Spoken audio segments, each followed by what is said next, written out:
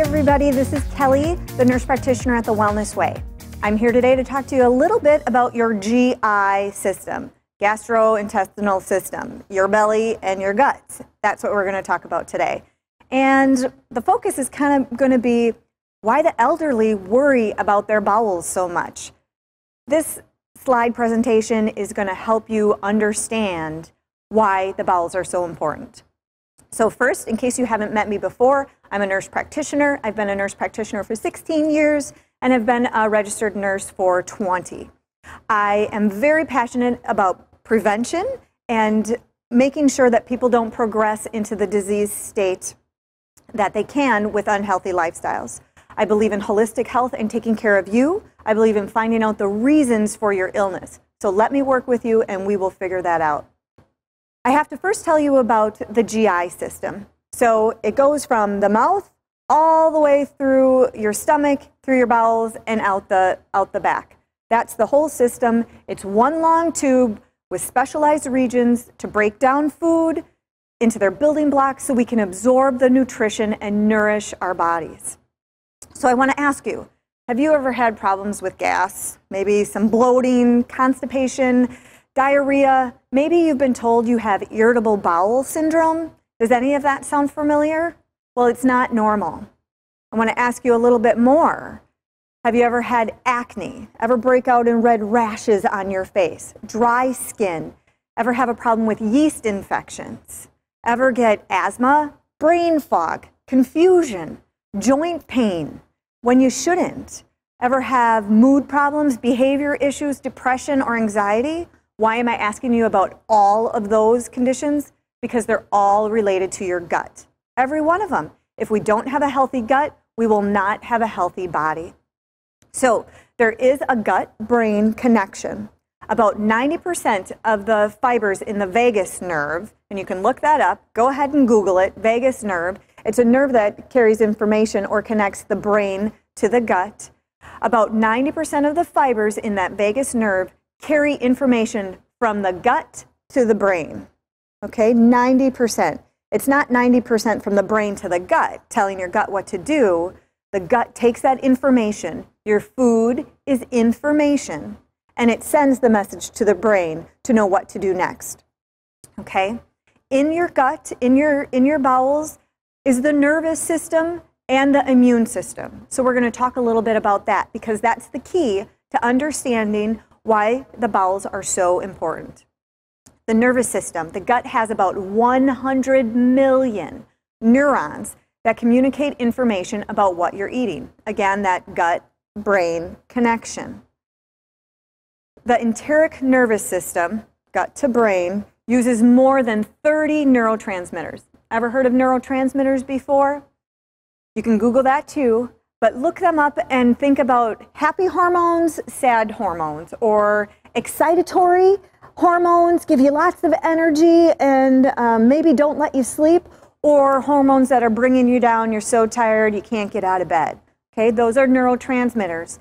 The majority of the neurotransmitters are made in your gut and send messages to your brain. So sometimes when you have think you have a brain issue, it's really a gut issue because the hormones that you need are not being made, or there's too much of one, not enough of another, and there's an imbalance. Is that making sense?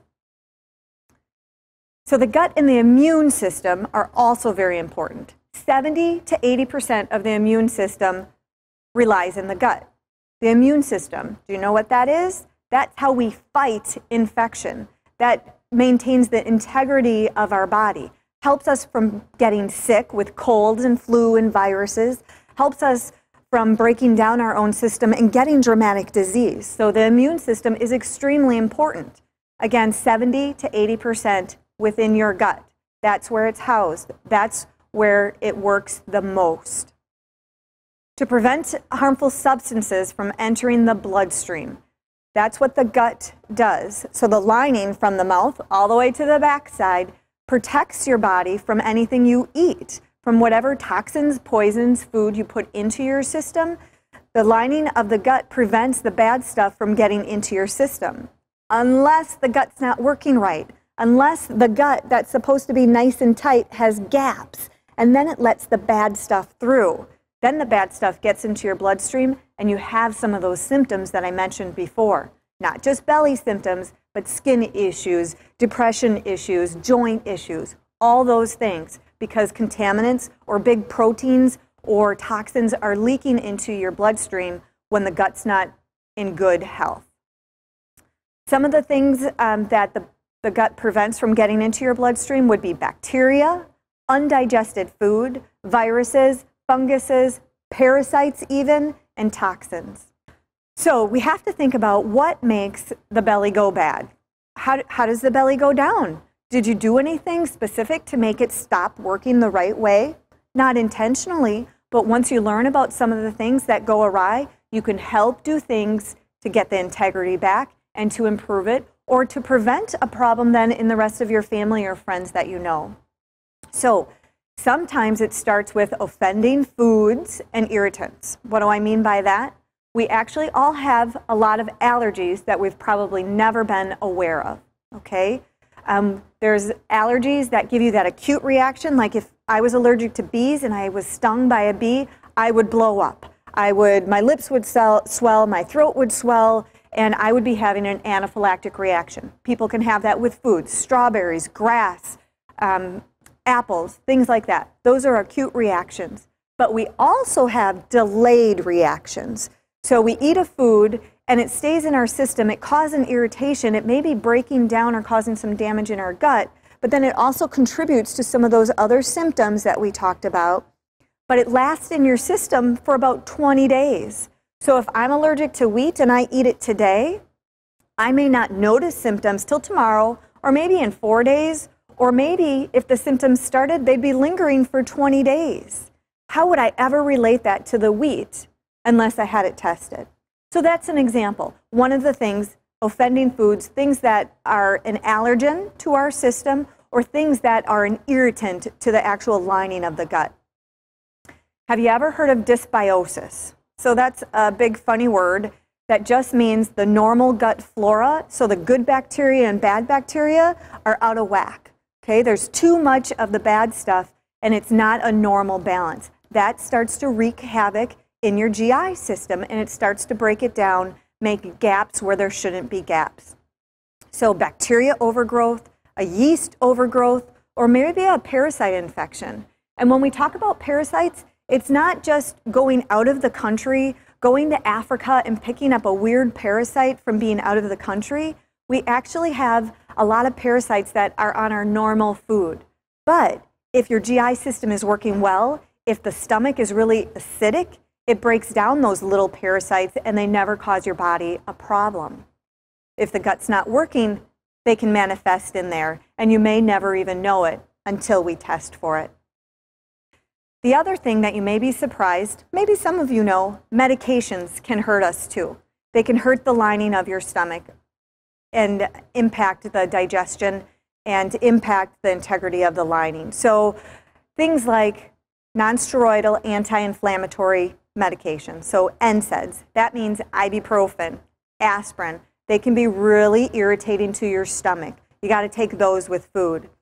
Antibiotics can really goof up that normal flora.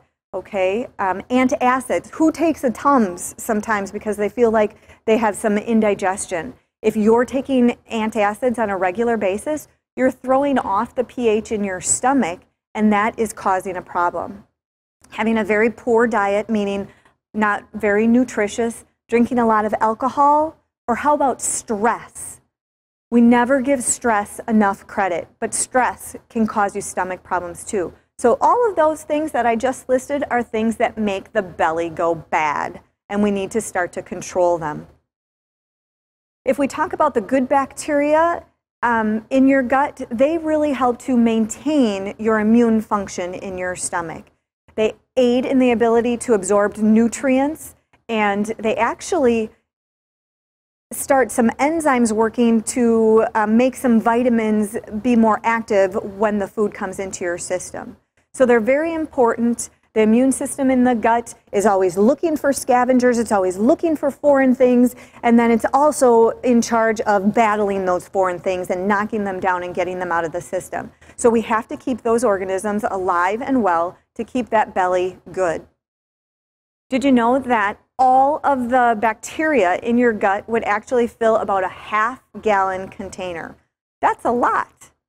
That's really a lot. When you think about your stomach is really the size of your fist right there.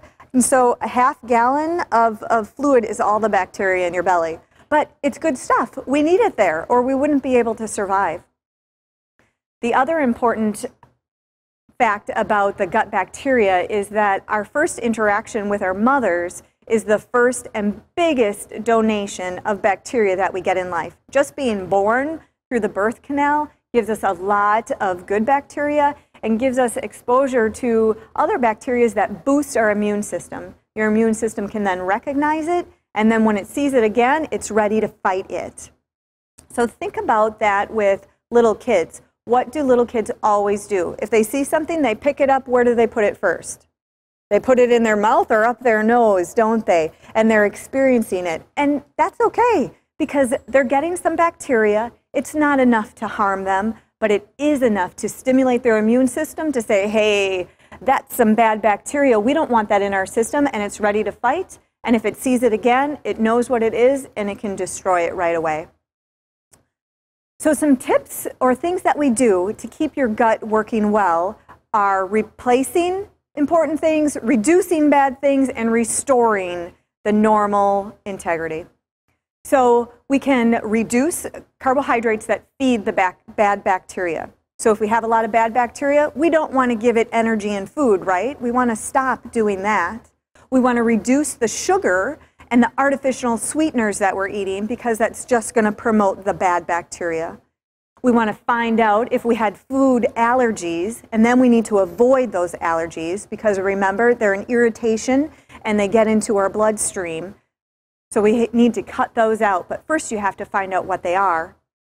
If you have a problem digesting food, if you ever have stool that still has food in it, you can tell what it is. It means that you're not digesting it well.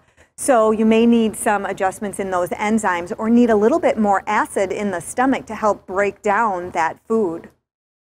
You may need to replace some of your normal nutrients if you're depleted on them. Things like vitamin B12, folate, vitamin D is extremely important, and magnesium. And then we need to think about restoring that normal bacteria. Fermented foods is a great way to restore and keep a normal balance. And if you don't eat many fer fermented foods like kombucha or sauerkraut, and there's many more things out there, then we need to consider taking some probiotics, again, to keep that normal flora balance.